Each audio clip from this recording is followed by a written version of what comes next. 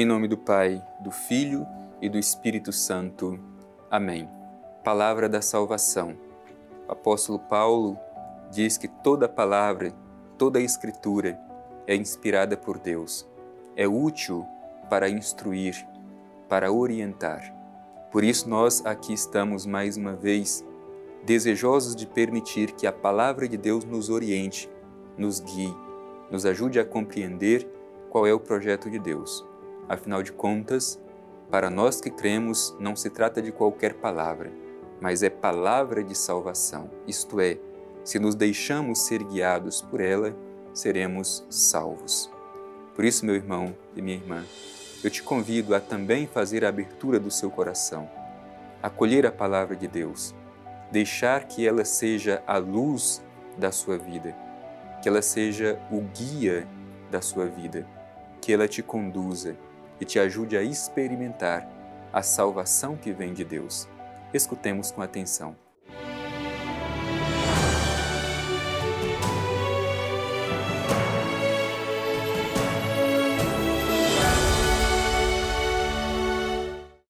Proclamação do Evangelho de Jesus Cristo segundo Lucas. Glória a vós, Senhor. Quando chegou a hora, ele se pôs à mesa com os seus apóstolos e disse-lhes: Desejei ardentemente comer esta Páscoa convosco antes de sofrer. Pois eu vos digo que já não a comereis até que ela se cumpra no reino de Deus. Então, tomando uma taça, deu graças e disse: Toma isto e reparti entre vós. Pois eu vos digo que doravante não beberei do fruto da videira até que venha o reino de Deus. E tomou um pão, deu graças, partiu e deu a eles, dizendo: Isto é o meu corpo, que é dado por vós Fazei isto em minha memória.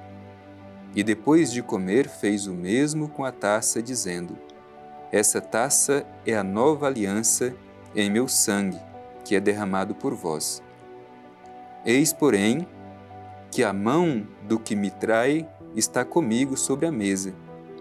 O filho do homem vai segundo o que foi determinado, mas ai daquele homem por quem ele for entregue começaram então a indagar entre si qual deles faria tal coisa. Houve também uma discussão entre eles: qual seria o maior? Jesus lhes disse: Os reis das nações as dominam, e os que a tiranizam são chamados benfeitores. Quanto a vós, não deverá ser assim. Pelo contrário, o maior dentre vós torne-se como o mais jovem e o que governa como aquele que serve. Pois qual é o maior, o que está à mesa ou aquele que serve? Não é aquele que está à mesa? Eu, porém, estou no meio de vós como aquele que serve. Simão, Simão, eis que Satanás pediu insistentemente para vos peneirar como trigo. Eu, porém, orei por ti a fim de que tua fé não desfaleça. Quando, porém, te converteres, confirma teus irmãos. Disse ele: Senhor, estou pronto a ir contigo à prisão e à morte. Ele, porém, replicou: Pedro, eu te digo, o galo não cantará hoje sem que por três vezes tenhas negado conhecer-me. Palavra da salvação. Glória a vós, Senhor. Meu irmão e minha irmã, nós estamos diante desse trecho do Evangelho de São Lucas, que é o início da narração da sua paixão. Hoje nós iniciamos a Semana Santa, com o Domingo de Ramos. Ouvimos este pequeno trecho de um longo trecho que é narrado na liturgia de hoje, toda a sua paixão, que continua esse pedaço que nós lemos do Evangelho, mas já nos ajuda a compreender todo o processo que Jesus sofre no tribunal com a sua condenação e a sua morte de cruz. A própria liturgia do domingo de Ramos mostra, por um lado, este contraste. Por um lado, a alegria de acolher o Messias que entra em Jerusalém, que é acolhido com ramos, saudações, Hosana, o filho de Davi. Por outro lado, em seguida, os gritos que pedem para que ele seja crucificado.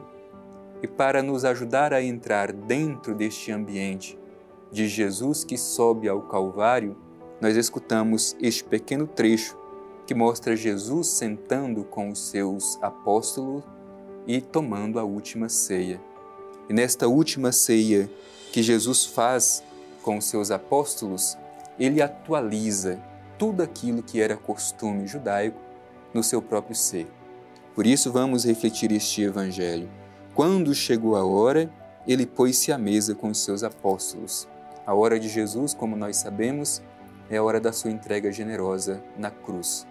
Ele sabia que a sua hora estava chegando, mas desejou, como diz o Evangelho, ardentemente tomar esta ceia com os seus apóstolos. Portanto, não foi uma ceia qualquer, foi a última ceia realizada com os seus apóstolos. E aquela deverá ser a memória por toda a vida dos apóstolos e por toda a vida da igreja. É a mesma ceia que nós celebramos hoje quando rezamos a Eucaristia. Nela, Jesus realiza e atualiza tudo aquilo que era o costume judaico. Por isso diz o seguinte: Tomando uma taça, deu graças e diz: Toma isto e reparti entre vós, pois eu vos digo que doravante não beberei do fruto da videira até que venha o reino de Deus. Isto é, está próximo o momento dele entrar na sua paixão e se realizar tudo aquilo que ele veio para revelar. Tomou o pão, deu graças, o partiu e deu a eles, dizendo: Isto é o meu corpo, que é dado por vós, fazei isto em minha memória. A primeira parte já era costume dos judeus tomar o pão, dar graças a Deus, repartir entre si. Mas a novidade está na atualização, porque Jesus diz que agora este pão é o seu próprio corpo dado como alimento aos seus discípulos, aos que nele creem, e pede que isso seja feito em sua memória. E do mesmo modo, depois de comer, fez o mesmo com a taça de vinho, dizendo: Esta taça é a nova aliança do meu sangue, que é derramado por vós. Repito, era um costume entre os judeus de na ceia passar a taça com o vinho. Mas Jesus atualiza isso, porque ele diz que este vinho agora será o seu próprio sangue. Portanto, o pão será o seu corpo e o vinho será o seu próprio sangue. Falando da sua entrega, do seu próprio sacrifício, como entrega generosa para nos salvar. Por isso, toda a Eucaristia que nós celebramos é exatamente a memória desta ceia derradeira que Jesus fez com os seus discípulos. Depois, logo em seguida, a gente vê o anúncio de um dos apóstolos que iria trair Jesus. É interessante porque a mesa tem este elemento de inclusão. Jesus sabia que um deles iria traí-lo, mas mesmo assim permite que ele permaneça na mesa. Eis, porém, que a mão do que me trai está comigo sobre a mesa. O filho do homem vai segundo o que foi determinado, mas aí, ai daquele por quem ele for entregue. Começaram então a indagar entre si qual deles faria tal coisa. Como nós sabemos, se trata de Judas, que um pouco mais à frente vai entregá-lo nas mãos daqueles que o procuram para matar. E diante disso surge uma discussão sobre quem é o maior, e Jesus lhes dá uma importante lição os discípulos devem ser diferentes deste mundo. Os chefes das nações buscam esse tipo de grandeza, mas entre os discípulos de Jesus não deve ser assim. Ao contrário, quem quiser ser grande, torne-se o mais jovem, o mais pequeno. É este o ensinamento de Jesus. Quem quiser ser grande, torne aquele que serve. E Jesus coloca a sua própria pessoa como exemplo, como modelo daquele que veio para servir e não para ser servido. Eu vim e estou no meio de vós como aquele que serve. Por isso, entrando na Semana Santa, peçamos também esta graça de não termos dentro de nós este desejo de querer ser o maior, de querer ser o melhor, mas que sejamos como Jesus, servidores, que estejamos entre as pessoas, mas como aqueles que servem. E depois também tem o anúncio da negação de Pedro, Simão, Simão. Eis que Satanás pediu insistentemente para vos peneirar como trigo. Eu, porém, orei por ti, a fim de que tua fé não desfaleça. E diante disso, Pedro se mostra como alguém que vai até o fim. Eu permanecerei contigo até o fim, mesmo na prisão e na morte. Mas Jesus conhece também o coração de Pedro e por isso lhe diz: Pedro, eu te digo, o galo não cantará hoje sem que por três vezes tenhas negado de conhecer-me. Portanto, meu irmão e minha irmã, a traição de Judas, a negação de Pedro estão dentro do anúncio da sua paixão.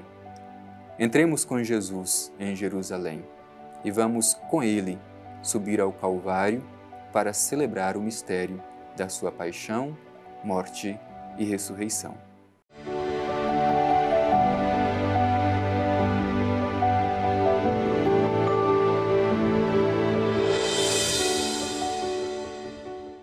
Meu irmão e minha irmã.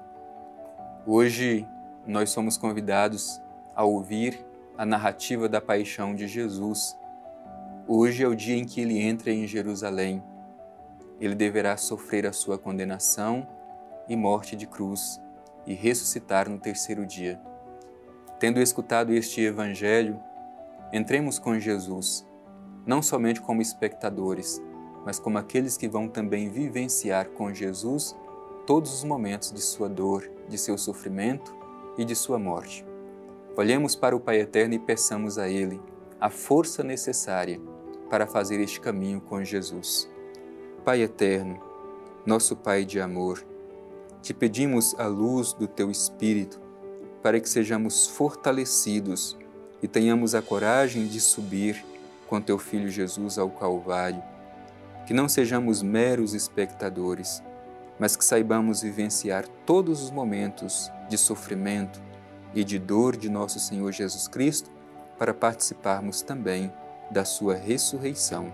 Assim seja. Amém. O Senhor esteja convosco, Ele está no meio de nós. Abençoe-vos o Deus Todo-Poderoso, Pai, Filho e Espírito Santo. Amém.